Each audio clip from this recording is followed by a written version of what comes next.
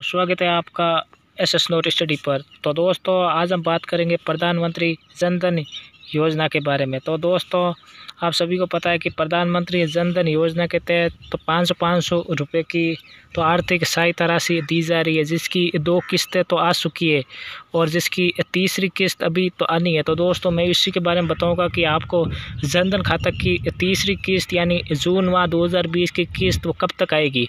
तो दोस्तों तो दोस्तों, अगर आप हमारे चैनल पर नए हो तो चैनल को ज़रूर सब्सक्राइब कीजिए और बेल आइकन को ऑन कर दीजिए ताकि जितने भी आपको नई नई भर्तियों की योजनाओं की पल पल की जानकारी समय पर मिलती रहे। तो दोस्तों, जनधन तो खातों के अंदर तो तीसरी किस्त तो पाँच सौ रुपये की राशि जो कि पाँच जून 2020 को सभी जनधन तो खाता धारकों के खातों में डाल दी जाएगी।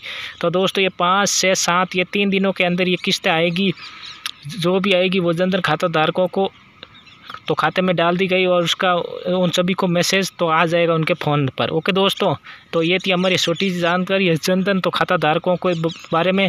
तो दोस्तों, अगर आपको हमारी जानकारी ऐसी लगी है तो वीडियो को लाइक ज़रूर कीजिए और चैनल पर नहीं है तो चैनल को ज़रूर सब्सक्राइब कीजिए और हमें कमेंट बॉक्स में ज़रूर बताइए कि आपको जनधन तो योजना का लाभ तो मिला या नहीं मिला, क्या आपके खाते के अंदर तो दो किस्तें तो आ चुकी है, हज़ार हज़ार पाँच सौ पाँच सौ रुपये की, हज़ार रुपये की किस्त।